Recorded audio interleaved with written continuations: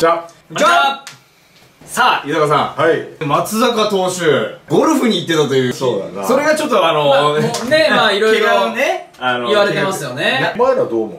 まあ正直自分はまあいいんじゃない？いいんじゃないかなって思っちゃいましたね。別にだってその息抜きって必要だと思うんですよ。まあまあね。どんだけ怪我してても。みんな練習してて、うん。ファンも待ってるじゃない。松坂その裏でやったっていうのがやっぱダメなんだろうな。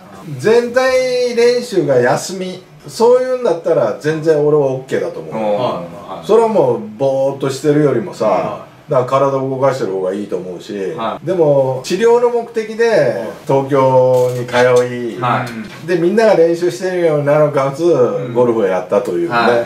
まあそこなんだろうね問題は、うん。うん。あの上重っていうのもちょっと問題あるな。は い。い友達持とうよ。だから松坂に言えることはファンは松坂の投球を楽しみに待ってるファンはたくさんいるよということだね。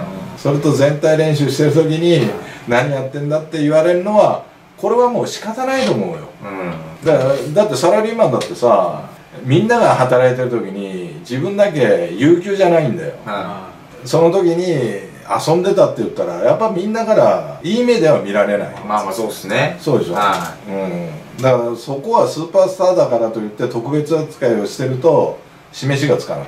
ただ松坂がその全体とは外れて、自分でメニューを組んでて、うん。その日を休日にしてるんだったら別問題だからね、うん。それはそれでね。まあまあそうっすね。確かに。だからまあその事情がちょっとわからないけども、はい。大輔に言いたいのは、やっぱ待ってるファンがたくさんいるということだはい。だから早く復帰をして早く勝ってくれまあそれが一番ですねやっぱり。はい。そしたらこういう話題ももう水に流れるように消えていくはい。頑張ってくださいよ。頑張ってください。はい。